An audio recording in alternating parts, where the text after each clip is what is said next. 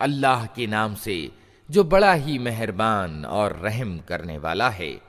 कसम है रात की, जबकि वो छा जाए, और दिन की, जबकि वो प्रकाशमान हो, और उस सत्ता की, जिसने नर और मादा को पैदा किया। वास्तव में, तुम लोगों के प्रयास विभिन्न प्रकार के हैं। तो जिसने अल्लाह के मार्ग में धन दिया, और अल्लाह की अवज्ञा से परहेज किया और भलाई को सत्य माना।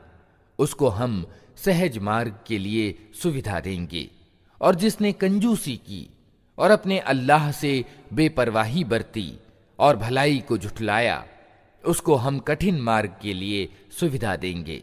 और उसका धन आखिर उसके किस काम आएगा, जबकि वो तबाह हो जाए? निस्संदेह, रास्ता बताना हमारे जिम्मे है।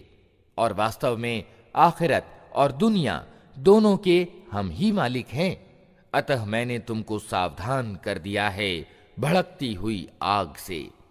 उसमें नहीं झुलसेगा, मगर वो अत्यंत दुराचारी, जिसने झुठलाया और मुँह फेरा, और उससे दूर रखा जाएगा, वो अत्यंत परहेजगार, जो पवित्र होने के ध्येय से अपना धन देता है।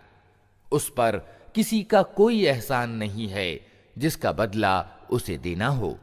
वो तो सिर्फ़ अपने महान रब की प्रसन्नता की प्राप्ति के लिए ये काम करता है, और ज़रूर वो उससे प्रसन्न होगा।